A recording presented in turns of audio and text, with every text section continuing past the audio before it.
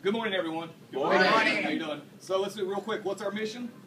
To serve and delight and engage our members while they shop their way. Very good job. Thank you very much. No problem. First off, does anybody have a story? If not, All right. So this is what Show Pride looks like to me. At the beginning of March, Sarah set out on a personal goal of 50 credits. March delivered us with a lot of rough weather and low member transactions. No matter what, she kept an above the line attitude, ensured she spent time with each potential credit member, and through her hard work and positive attitude, she ended up the month with 65 credits, credits, exceeding her personal goal of 50 and impacting the store's results of 129.49% month to date. So that's what. All right.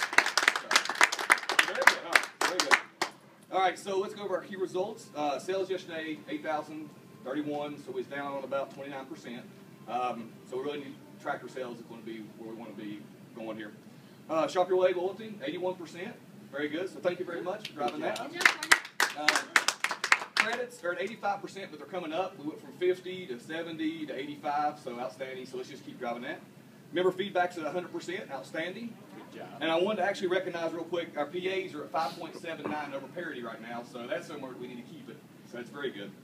Um, our focus accountability, our gaps that we really need to close is going to be looking at credit today. Keep driving that so we can get back where we need to be.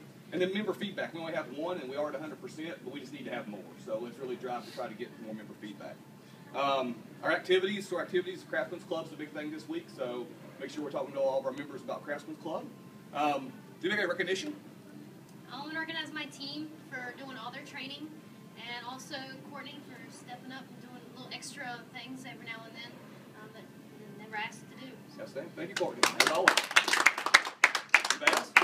Stephen Lowe and Brian for taking a refrigerator to the customer's house. Uh, one was damaged, they delivered another one. It was an excellent job, she was real happy. So, Very great. job. Member work. And anybody else have anything? If not, I do have a little bit. I want to recognize James, Chris, Ben, and a lot of the MPU guys that have been just working real hard on painting and getting that culture change going on back in our off-stage areas and getting that looking good. So it should be finalized at the end of the week, and it'll be awesome. So thank you guys. Appreciate it. All right, get back to work. Thank you very much. Good job. All right.